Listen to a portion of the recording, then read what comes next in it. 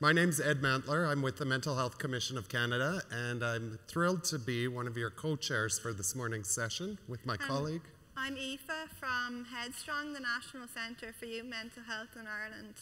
Um, so, first, we're going to have a conversation about advocating for and achieving real reform and investment in youth mental health.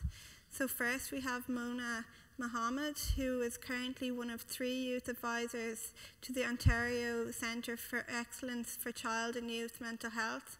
So, as an advisor, she provides a consulting and supporting role for both internal and external process of youth, of, uh, youth participation in that organisation. Next, we have Helen Coughlan, who's a social worker in Ireland with the Royal College of Surgeons, and she's um, worked in the international youth mental health uh, field for over 10 years, and she was lead writer in the Declaration on Youth Mental Health that was launched in uh, 2013. Next, we have Patrick McGorry, who is Executive Director of Orygen Youth Mental Health Research and Professor of Youth Mental Health at the Centre um, for Youth Mental Health at the University of Melbourne. He is also a founding board member of Headspace and a world leading researcher.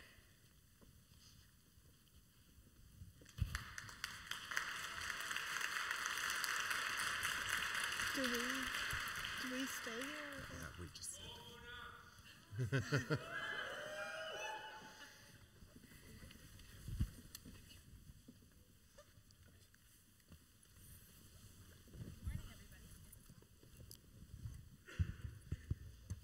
Good morning. Great. Um, so I'm really excited to be here with Helen and Pat this morning. Um, we're going to be talking about a topic that's pretty hefty. I've kind of broken it down into questions that I'm hoping that they can address uh, within the short amount of time that we have. So um, I'll get started. Uh, so we're talking about advocacy um, to achieve real-world reform in mental health and investment in mental health. So, just first off, what does real world reform look like to you based off of your personal experience? Uh, it's, it's a really interesting question because I think the question of, like, when you look at reform, it's a really simple concept around change is happening, right. things are, are shifting and changing. But for me, real world reform, certainly in the area of youth mental health, is that we move beyond innovation. So there's, there's tremendous kind of appetite for change. There's a lot of innovative things happening. There are great conversations. But I think until it becomes sort of a norm that we that we are not this smaller collective of people having these conversations about something being new and that new becomes the norm so that that everybody is kind of remembering back to a time when we sat at a conference in Montreal and talked about things being different. And then for me, that'll be real reform. I feel like stigma reduction plays a huge piece in that because I think if it's more normalized to talk about mental illness, then that real wor world reform happens where it's not just these small conversations that we're having, but on a bigger platform. Pat? Yeah, well, I guess um, what you hear all the time from the public and from people who try to use mental health services or get help for um, in periods of mental ill health is that um, what's being offered at the moment is not right. Um, it, it, doesn't feel right. Um, I, that's certainly what I felt when I first started training in, in, in the mental health field, that is in fact in the old 19th century sort of models of the asylums, and that was clearly was about 100 years out of date. But what's been what's it, what's replaced it is still not right, and and uh, everyone says that. You hear terms like the system's broken and this kind of stuff, but try to get reform actually happening. It's incredibly entrenched. What is what is there? The status quo. It's underfunded it's, it's dysfunctional and it's not the fault of the people working in it. It's just the, the, the design of the system and the level of the scale of it is wrong, so it, it doesn't function in, in, the way that it's meant to, even though the values of the people working in it are, pr are pretty good, generally speaking, I think. But to change it is incredibly difficult. And once it does start to change, there's resistance to that change, you know, and it gets undermined. So this reform process has to, has to be understood in a political and, and, and socio-cultural way as well. And we have to get a lot more professional about, about this process, I think, to understand the, the machine of it, you know. And um, that's, so, that's what we've been trying to learn, I suppose, over the last um, 10 or 15 years especially.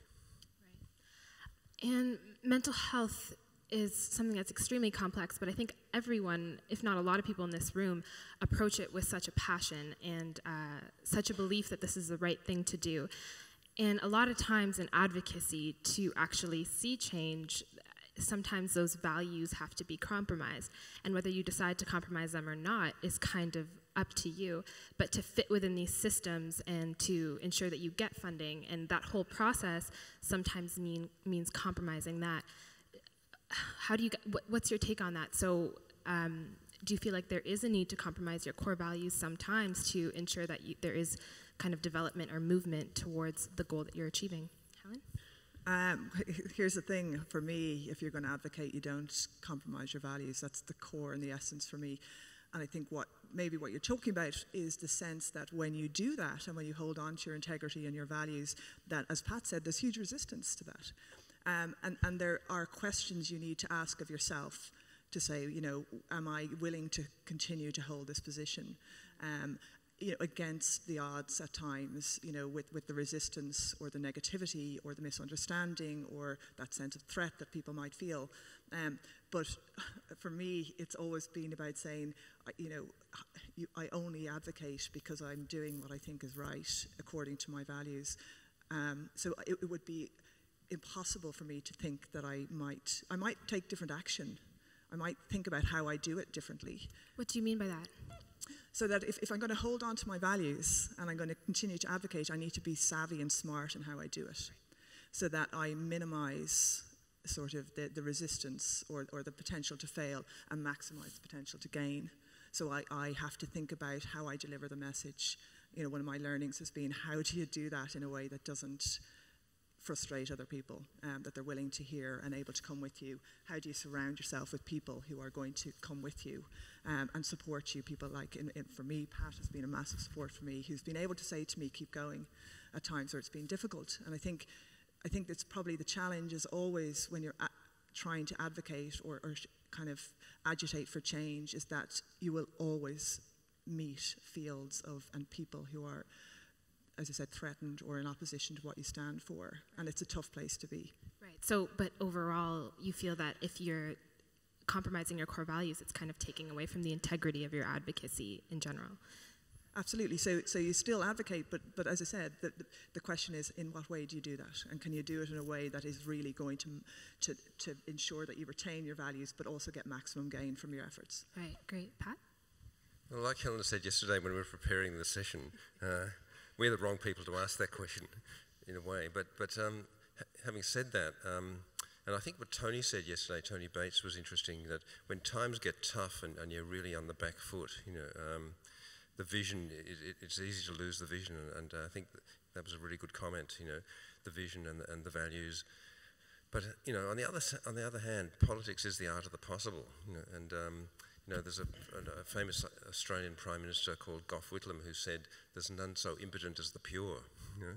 So th- there is an issue here. You, you, you've got to get stuff done. You know, um, if, you, if you're too, uh, uh, I suppose, um, uh, what's the word, uh, isolated on the moral high ground too much, you know, then you're not going to get anything done. So, but but um, on the other hand, again um, mental health has been bought off so cheap in the past. You know, people have just accepted absolute crap from, from, from government.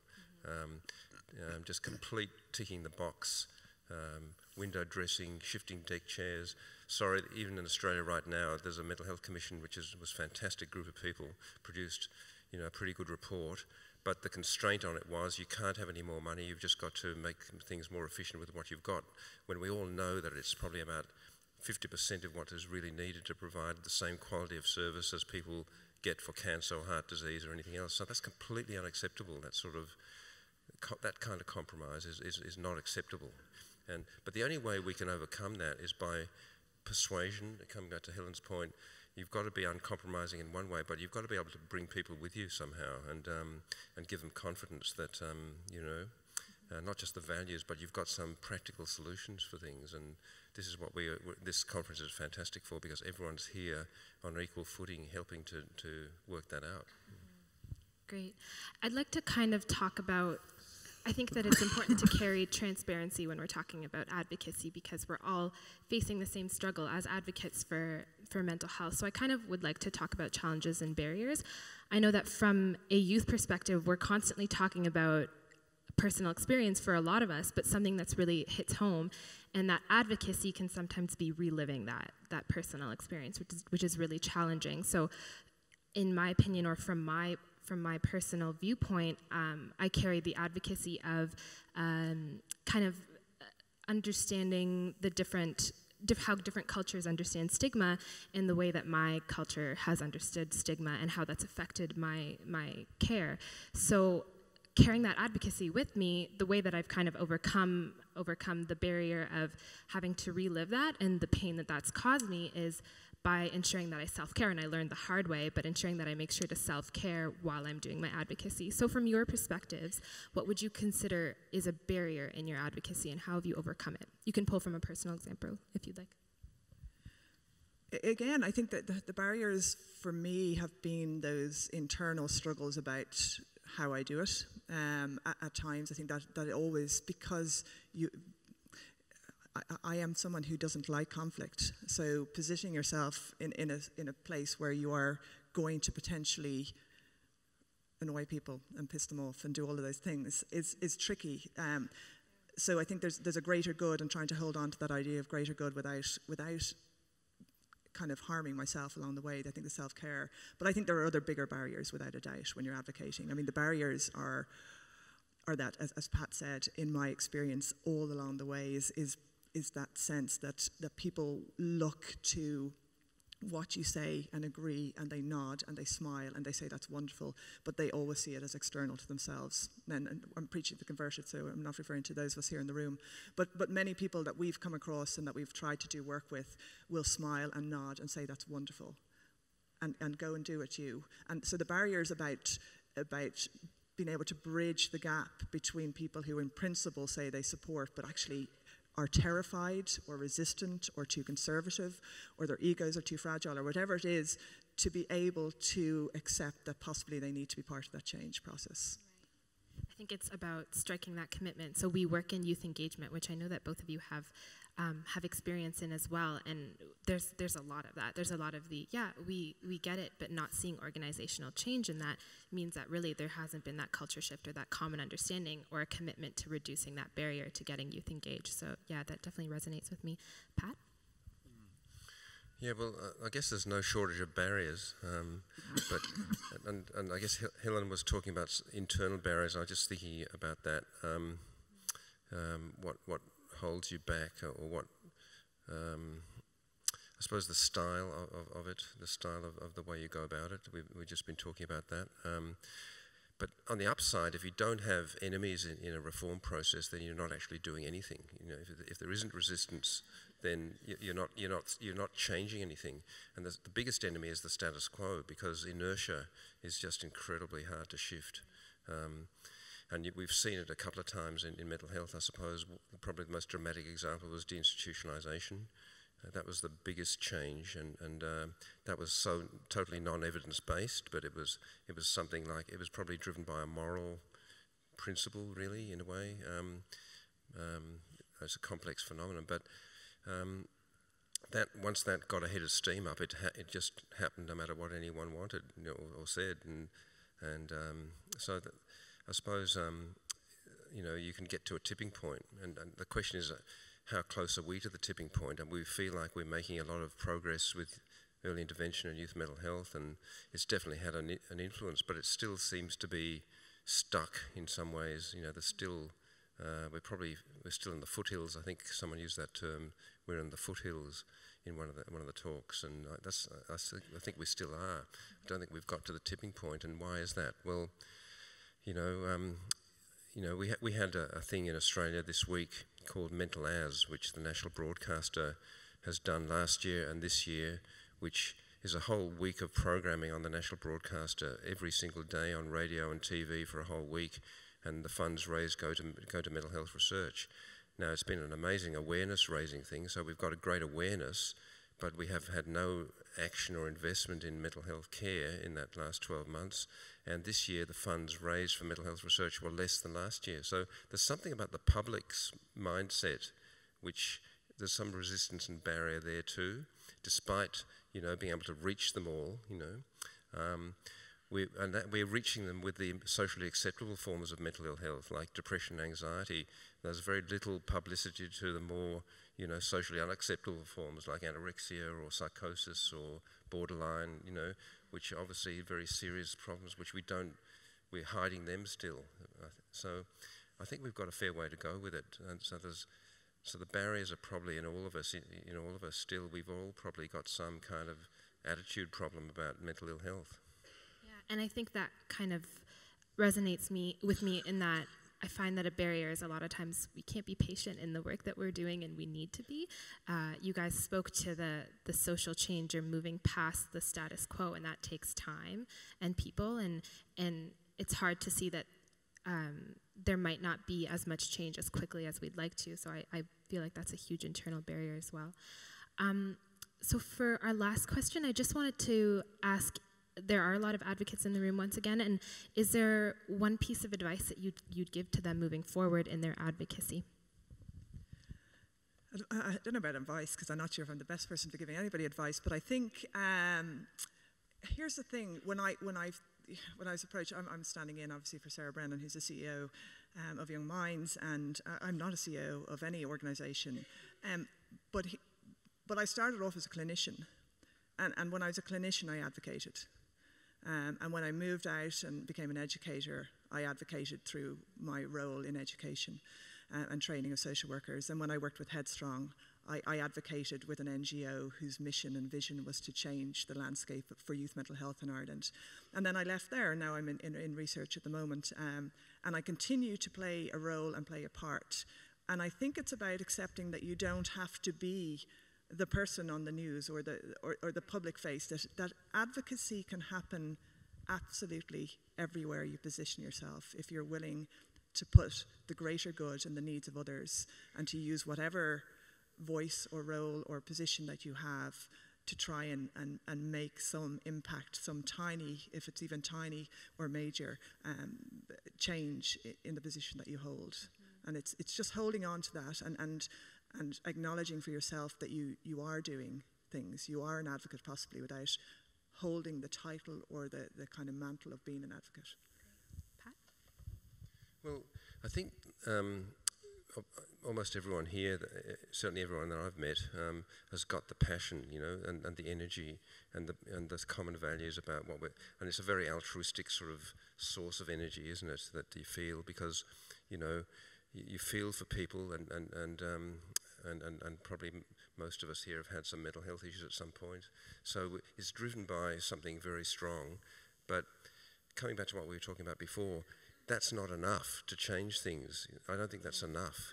Um, even, even like I was saying about the mental as thing, the public, uh, you know, connect with it for that reason as well. But it's not enough to, to actually generate change. So there are some missing bits, and this is where the political smarts must must come in. We've got to learn how to work the system much more effectively. And we have we've had some successes in Australia and Ireland in that way. We've le- have learned a bit, you know, mm-hmm. and, in the UK, uh, Max Birchwood and um, there are some lessons to be learned, and, and I think the one we haven't tapped into is self interest, because people vote on, on self interest, the, the old hip pocket, hip pocket nerve, you know, that they talk about in elections.